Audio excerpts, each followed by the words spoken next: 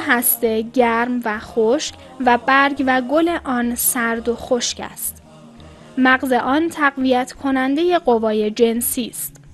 روغن مغز هسته زردالو را اگر در گوش بچکانید صداهای گوش را از بین برده و سنگینی گوش را درمان می کند. روغن مغز هسته برای نرم کردن پوست مفید است. روغن مغز هسته اگر تلخ باشد کشنده کرم معده و روده است.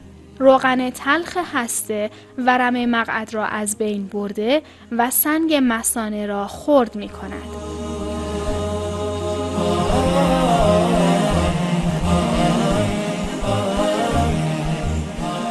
دم کرده برگ زردالو برای قطع اسهال مفید است. برای تسکین گوشدرد چند قطره از دم کرده برگ زردالو را در گوش بچکانید.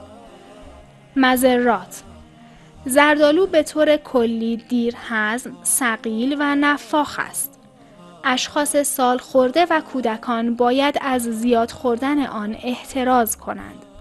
همیشه باید زردالو را قبل از غذا خورد و همراه با آن هسته آن را نیز تناول نمود. زیرا هسته زردالو ضد نفخ بوده و هضم آن را آسان می سازد.